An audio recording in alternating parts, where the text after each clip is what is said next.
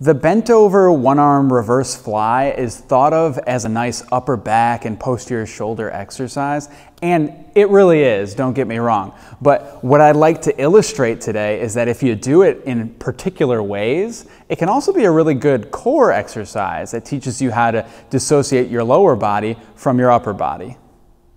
To get ready for the bent over one arm reverse fly, the main thing you need is just some sort of weight. You can use a plate, you can use a kettlebell, it'd be kind of weird, but you could use a dumbbell, you could use a milk carton or milk jug or whatever you need, whatever's an external load that you can resist, okay? If it's too light and you don't have anything available, just do more reps.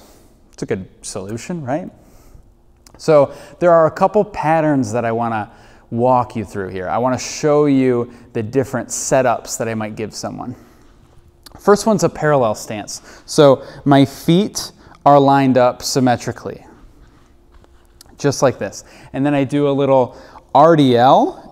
I will link to that video. It's a Romanian deadlift. It's a, it's a particular way that we bend over, right? So we do this. We try to feel a little bit of hamstring back here holding me up.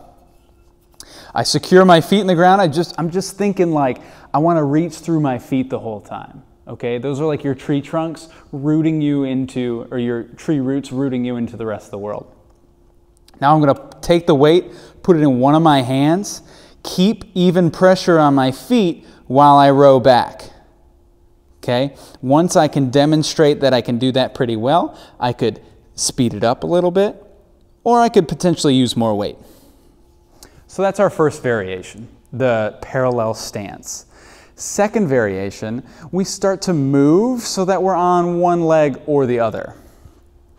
Now instead of lining my feet up parallel, I'm going to put one foot in front of the other, keep them both flat. We call this a staggered stance, okay? I'm going to try to load this front leg a lot more. Make sure this one's still down, my left one's still down, but I'm loading my right one more. Now that I've got whole pressure on my whole foot, then I can just do my reverse fly. So here, now that I'm overloading one leg, I'm gonna feel my hip muscle more. I'm gonna feel my hamstring quad supporting me up that way. Uh, this is a great way to turn this into a, a more of a functional exercise, right? So I'm starting to integrate my lower body with my upper body a lot more okay? I'm gonna be able to use more weight this way, but I'm gonna really feel this way too, or this way too. I, I spoiler alert, this is our next variation, the split stance. Okay, so instead of having both feet flat, now I'm really loading this front one. And this leg, this back leg, is almost completely unweighted. Same principle though. I'm to push my whole foot into the ground, make sure I got that pressure, make sure I can feel this butt muscle turn on and then I'm going to row away from it.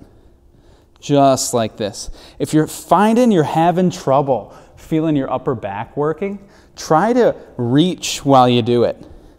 So, this free arm you can use to stabilize the rest of your body, stabilize your core and your rib cage. And that allows you to turn on these muscles in your upper back. If you have any questions, let me know in the comments below. Again, our three positions are the parallel stance, the staggered stance, and then the split stance.